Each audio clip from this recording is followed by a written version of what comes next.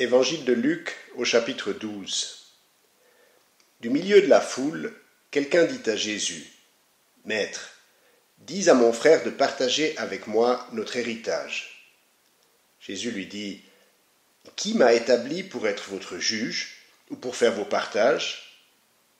Et il leur dit, Attention, gardez-vous de toute avidité, car la vie d'un homme ne dépend pas de ses biens, même s'il est très riche et il leur dit une parabole. Il y avait un homme riche, dont la terre avait bien rapporté. Et il se demandait Que vais-je faire, car je n'ai pas où rassembler ma récolte? Puis il se dit Voici ce que je vais faire. Je vais démolir mes greniers, j'en bâtirai de plus grands, et j'y rassemblerai tout mon blé et mes biens. Et je me dirai à moi-même te voilà avec quantité de biens en réserve pour de longues années. Repose-toi, mange, bois, fais bon danse.